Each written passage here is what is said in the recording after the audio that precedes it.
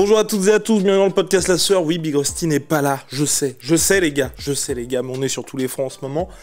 Puis là, il y avait une petite urgence parce que Francis Ngannou contre John Jones est ciblé pour l'UFC 285 le 4 mars prochain à Las Vegas. Et si Francis n'est pas prêt, n'est pas rétabli, parce que vous vous souvenez, hein, genou en vrac contre Cyril Gann, il s'était fait ça durant sa préparation, il s'impose par décision unanime face à Cyril Gann.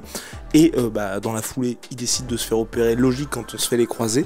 Et donc là, si Francis n'est pas remis à temps, l'UFC pense à Curtis Blades contre John Jones, selon toute vraisemblance, pour une ceinture intérimaire. On va voir tout ça ensemble brièvement, ne vous inquiétez pas.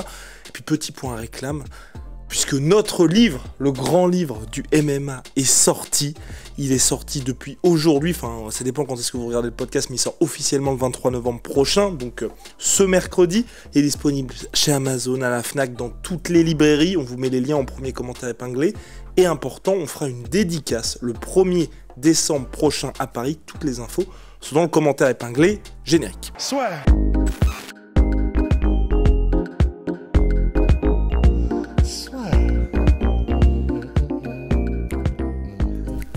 Entre dans l'octogone avec Unibet.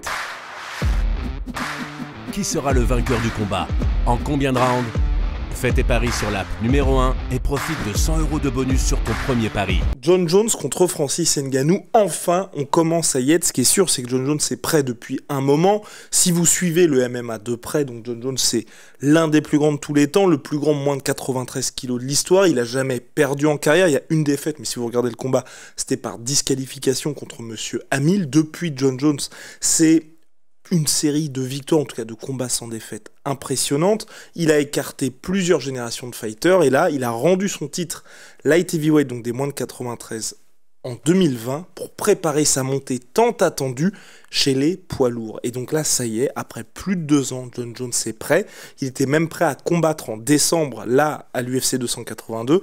Mais malheureusement pour lui, Stipe Miocic, ancien champion poids lourd, n'était pas prêt, en tout cas de ne pas vraiment de signe de vie. Il y a même Dana White en conférence de presse après l'UFC 281 qui était un petit peu gêné lorsqu'un journaliste lui a posé la question parce que même Dana White, le président de l'UFC, n'a pas de nouvelles de Stipe Miocic. Et là, il semble assez clair que l'UFC tourne la page Stipe Miocic après qu'il leur ait fait faux bon parce que ce qu'il faut dire quand même, c'est qu'à l'origine, l'UFC ciblait le retour de John Jones le 30 d'abord, pardon, en juillet 2022, ensuite le 30 septembre 2022, puis là pour le pay-per-view de décembre 2022, mais Stipe Miocic n'était pas prêt pour le titre intérimaire, donc là finalement l'UFC se dit quoi?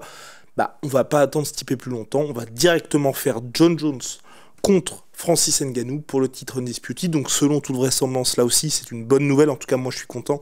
Ça veut dire que Apparemment, l'UFC commence à se mettre d'accord avec Francis pour un nouveau contrat, ce qui est très bien parce que Francis est le champion undisputed de l'UFC, le champion, euh, je n'ai pas le mot en français, ah, le champion, Ania, champion incontesté, voilà, le champion incontesté de l'UFC. Merci à Rania qui nous évite de faire des anglicismes.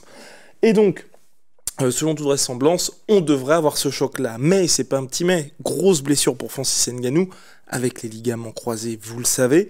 Donc on sait pas trop quand est-ce qu'il va revenir. Surtout Francis, né en 86, qui veut pas prendre de risques avec sa carrière. Donc si Francis n'est pas prêt, l'UFC irait plutôt vers Curtis Blades. Aujourd'hui, Curtis Blades, moi ça ne me dérange pas énormément parce qu'on a quelqu'un qui, mine de rien, a fait le taf dans la catégorie.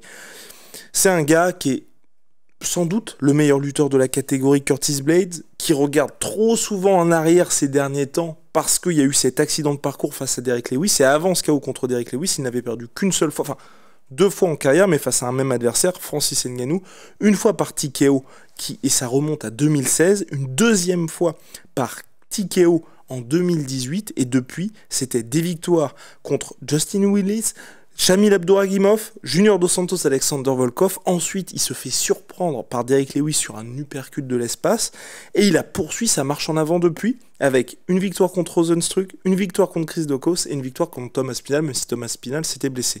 Moi les deux combats m'intéressent pour John Jones. John Jones contre Francis Ngannou, vous le savez, c'est une opposition de style, c'est le test ultime pour John Jones. Que va-t-il faire face à la puissance de Francis et face au gars qui est le plus imposant, le plus fort physiquement de la catégorie et face à un Francis qui a montré tous ses progrès en lutte? Parce que oui, John Jones l'a dit sur ses réseaux sociaux, avec sa montée en heavyweight, on va revoir le John Jones lutteur. Sauf que Francis, vous l'avez vu contre Ken Velasquez, vous l'avez vu contre Stipe Miocic lors de la revanche. La lutte défensive est au point. Francis Ngannou sait défendre. Francis Ngannou a montré qu'il avait considérablement progressé depuis le combat contre Stipe Miocic et surtout il a eu l'occasion de le montrer. Et la lutte offensive sur une jambe, il a réussi à faire inverser la tendance lors du combat contre Cyril Gann et surtout il a aussi réussi à montrer à tout le monde que bah, en 5 rounds, Francis il pouvait tenir puisqu'il perd les deux premiers rounds contre Cyril et il arrache les trois derniers. Donc ça c'est encore un élément de plus qui peut nous faire dire, bah c'est vrai que contre John Jones qui pourrait avoir le style pour battre Francis Ngannou, bah ça va être plus compliqué parce que physiquement Francis a l'avantage et il a répondu à pas mal de réponses concernant sa lutte et puis au niveau du knockout power, on vous présente pas Francis, c'est le mec le plus effrayant de l'histoire de l'UFC dans ce domaine.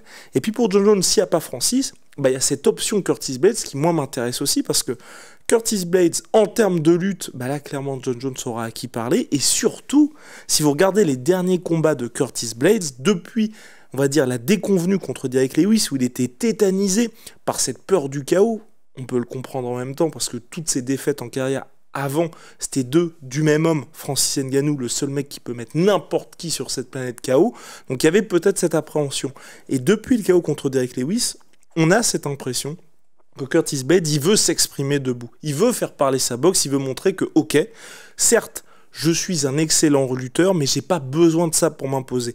On l'a vu contre Junior Dos Santos où il s'est imposé par TKO contre Junior Dos Santos grâce à sa boxe. Contre Chris Duckhouse, il s'est imposé grâce à sa boxe aussi par TKO. Et contre, Curtis, et contre Thomas Spinal, certes ça a duré très peu de temps, mais il était très très dangereux sur les premières secondes, Curtis Blades. Et là encore, avec son striking. Donc moi, franchement, ça m'intéresse aussi parce que c'est on est d'accord, c'est pas le mec le plus connu de l'UFC, Curtis Blade, c'est pas le mec le plus bankable, mais il est en train de faire des changements qui le rendent, à mon sens, hyper intéressant et qui le rendent aussi extrêmement dangereux pour n'importe qui dans la catégorie. Donc moi j'ai envie de voir ça, même si grosse préférence pour Francis Ngannou contre John Jones, parce que directement on serait dans le grand bain, directement pour le titre incontesté, et puis il n'y aurait pas de petit combat d'attente pour les deux. Et en embuscade, il y a notre cher Cyril Gann qui a partagé sur les réseaux sociaux. En gros, Jones, Nganou, Curtis Bates, moi je suis prêt pour tout le monde, il n'y a pas de souci parce que Cyril Gann, il est classé numéro 1 aujourd'hui dans la catégorie. Quand je dis numéro 1, c'est il y a le champion français Nganou et juste en dessous, il y a Cyril. Et Cyril, par rapport à Curtis Bates par exemple, bah, il a perdu contre Francis, ok, mais il a perdu par décision en gagnant les deux premiers rounds. Curtis Bates, il a perdu deux fois contre Francis Nganou et avant la limite. Donc il y a un argument aussi pour Cyril Gann, que ce soit soit contre, pour des retrouvailles contre Francis, même si l'UFC va préférer John Jones, évidemment, je préférerais aussi John Jones au regard bah, du potentiel historique du combat. Mais surtout, si Francis n'est pas prêt, moi, ça me dérangerait pas d'avoir Cyril Gann contre John Jones, parce que là aussi, on aurait une très belle opposition de style. Et sportivement, Cyril Gann mérite. Après, il y a une question de marché aussi qui se pose pour l'UFC, c'est Cyril, aujourd'hui, ils ont vu que c'était une superstar en France, ils ont vu que le gars pouvait remplir comme ça Bercy en France. Pourquoi finalement le faire combattre aux États-Unis alors que vous pouvez mettre un Américain face à John Jones et faire un petit peu patienter Cyril. Il y a toutes ces questions-là, mais en tout cas sportivement, moi ça m'intéresse. Et sportivement, il y a des gros arguments pour Cyril Gann. Voilà, en tout cas, c'est terminé pour cette breaking news de l'espace. On espère qu'enfin ça va se matérialiser parce que Big Rusty vous l'a dit, moi aussi ça commence à m'agacer. Dernier combat de John Jones à l'UFC en février 2020. Le temps passe aussi pour lui, plus de 35 ans maintenant pour John Jones. Ce serait dommage d'attendre encore longtemps avant son retour. Vous le savez, shout out à my sweet pea, my sweet protein, moins 33% sur tout my protein avec le code la sueur. See ya.